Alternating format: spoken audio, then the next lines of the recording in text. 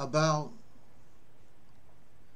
50 years ago, there was a man, and we know him as Malcolm X Shabazz.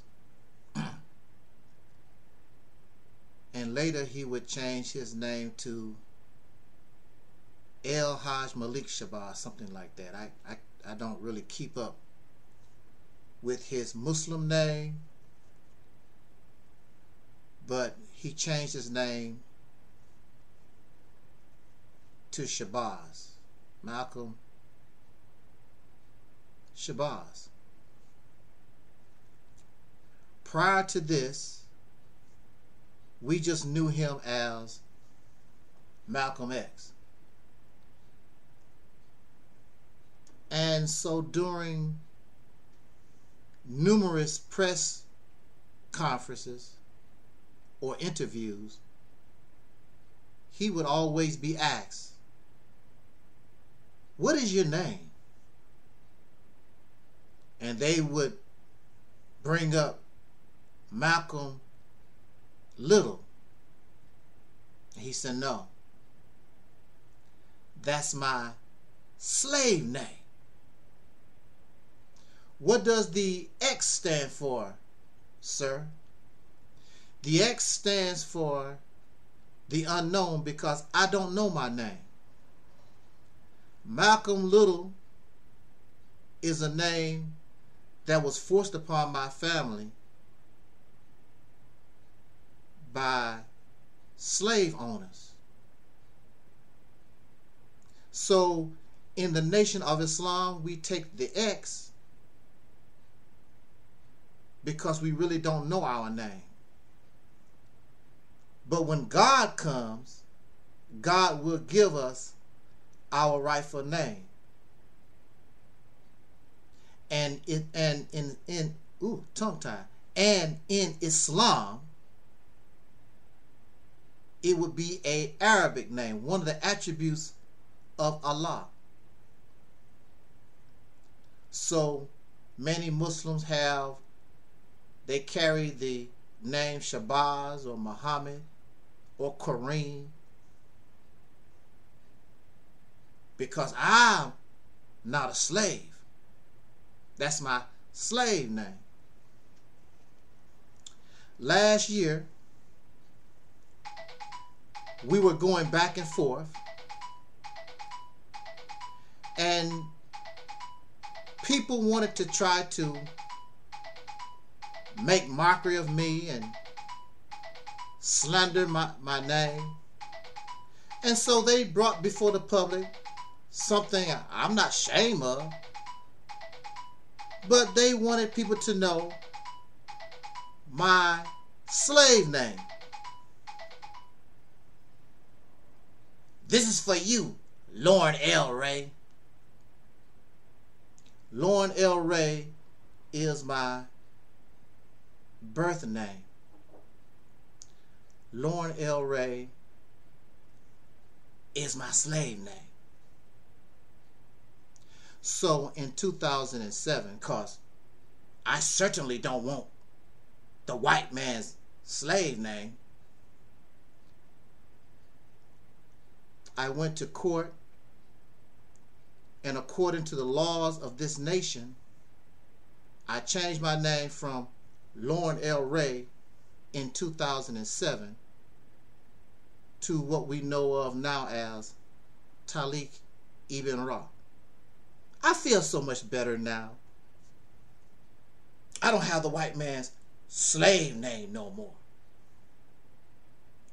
Also, it is not an Islamic name just a name I created from out of the Arabic language, but it is not Islamic. And they will tell you this. It sounds like it's Arabic, it sounds like it's Islamic name, but it's not. If you think it's butter, but it's not, it's chiffon. so on Facebook and on YouTube and on social media, whether we legally change our name or we just make up some kind of name for ourselves because I don't want to be the white man's slave. You have so many people, they have these Kemetic names. I'm a Hebrew Israelite. I'm going to take a name from my ancestors. I'm a, a, Hebrew Israelite name. I'm a Muslim. I'm to take a one of Allah's attributes. I'm to I just look. I just got to get out of the white man's name. What is a name? A name describes something. So, if I show you a picture of an orange, the name orange describes a fruit. So when you say, I'm going to get me an orange, and then you come back with an apple, somebody would automatically say, hey, that's not that's not an orange.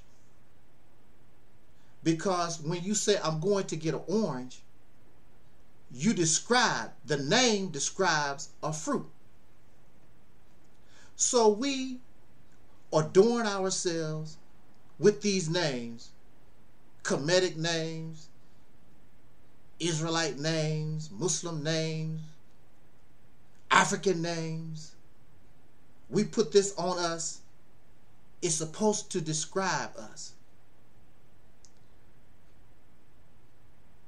But it's not us. We are mislabeled. It does not describe who we are. The orange describes the fruit and what it is. We take on these Kemetic names and Muslim names and Israeli names or all the African names or whatever, and we are mislabeled. It's like when you open a can of peas and there's corn in the can. It's mislabeled. We are mislabeled people. We're not these things. And what's so bad, we don't want the white man's name. And we take on these names that mean God and King and Queen and beautiful and these names describe a beautiful person. A lot of times the attributes wonderful definitions labels.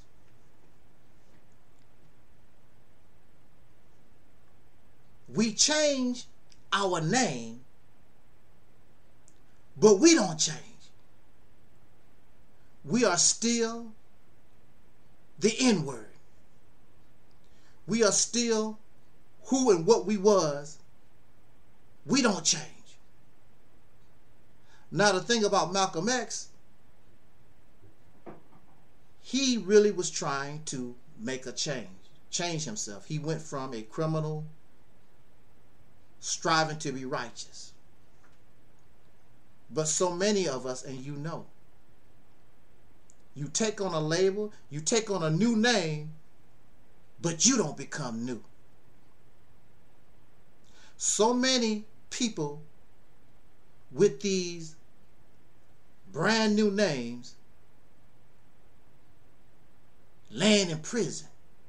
Criminals. You, you're liars and you, you're disgusting, you're vulgar, and you're nasty. You're nothing like the new name that you put upon yourself. So, what was the benefit?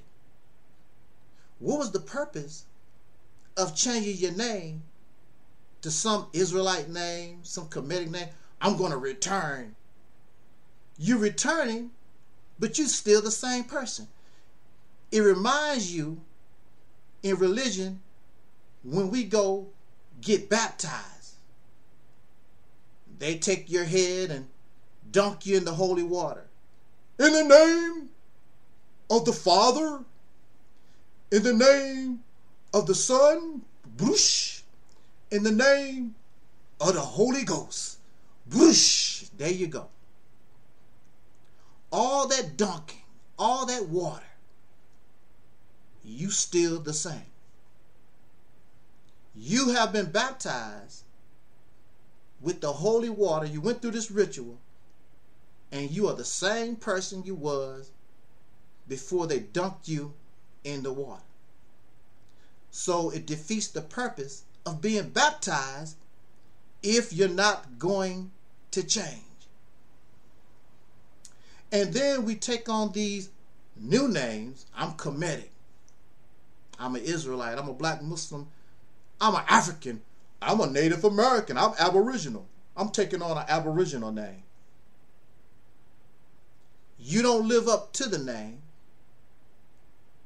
And you're taking on a name, you really don't know what it means. You did not create the name. So basically all we done was go from one slave plantation to another. We went from Master John, we was Toby on Master John slave plantation. Now we going over to Master Sam. He don't like the name Toby. Now your name is Jeremiah. You don't name yourself. We laugh at ghetto names. But a ghetto name is an attempt by somebody who is free to give themselves my definition, my label, my description.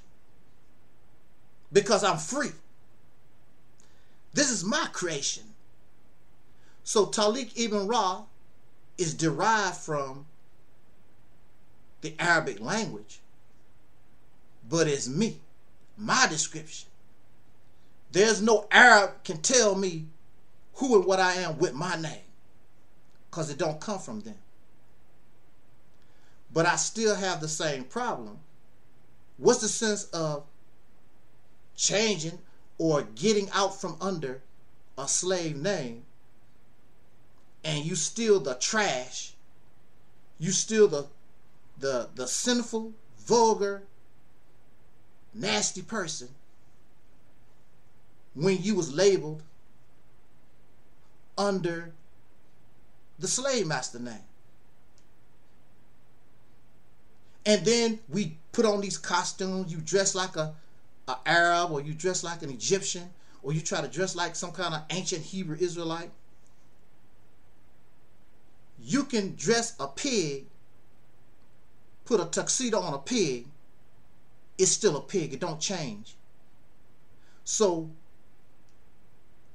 it makes no difference. You can change your name to a Muslim name and you can call yourself Bobo Baba, Ashalakan Him, Hakatim, Shugala. You can do all that. You are still an American Negro, and that's your history, and that's who the hell you are. You can put a tuxedo on a pig. You can put a dog, a seal, or elephant. You can put them in human clothes they are still a dog, a cat, whatever the hell they are. Same thing goes for you. So we got a bunch of fakes and fraud people running around here trying to be something they are not, mislabeled. Because you're not those things. So don't call me by my slave name. But you still a slave. You still in the same condition you have not. You have a new name, but you have not changed. It defeats the purpose of being or trying to make yourself new.